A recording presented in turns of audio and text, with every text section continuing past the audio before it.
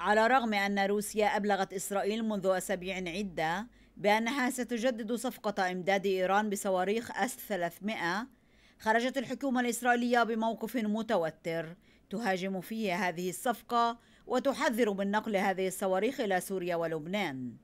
واعتبر عسكريون أن خطوة كهذه ستقيد تحركات سلاح الجو في الأجواء اللبنانية والسورية. وأعلن الجيش أنه بدأ التدريب على كيفية تجاوز خطر هذه الصواريخ. وفيما حدد رئيس أركان الجيش غادي آيزينكوت من اعتبرهم يهددون أمن إسرائيل بعدم الخوض بتجربة مع الجيش الإسرائيلي اعتبر وزير الدفاع موشي يعلون صفقة الصواريخ ستساهم في مضاعفة خطر إيران على المنطقة وإسرائيل. صفقة أس 300 هي نتيجة للاتفاق مع إيران التي تسلح حزب الله وتهرب أسلحة عبر سوريا وتخطط لفتح جبهة جديدة في الجولان كما حاولت في شهر أيار. وفيما اعتبر وزير الاستخبارات الإسرائيلية يوفال شتاينز قرار الكرملين نتيجة مباشرة لإطار اتفاق لوزان وللشرعية التي تحصل عليها إيران بفضل الصفقة النووية التي حيكت معها.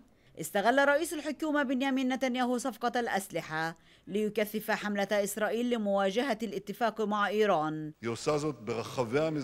إيران تمارس عدوانها في المنطقة من العراق وحتى اليمن وتعزز نشاطها خصوصا في لبنان والجولان. وفي سياق الحملة الإسرائيلية ضد قرار روسيا ادعى تقرير استخباري أن طهران بدأت ترفع مستوى التحضيرات لمواجهة إسرائيل على الجبهات كافة وأنها تسلح حزب الله بشكل مكثف وأرسلت بعثات إيرانية إلى غزة وأقامت جبهة أخرى في هضبة الجولان إلى جانب محاولتها تسليح رجال حماس في الضفة الغربية. إسرائيل تلمس العداء الأوروبي لروسيا جراء الأزمة الأوكرانية ولذلك تجد في صفقة الصواريخ فرصة للمزيد من الضغوط على الدول العظمى حتى تعدلوا في الاتفاق مع إيران.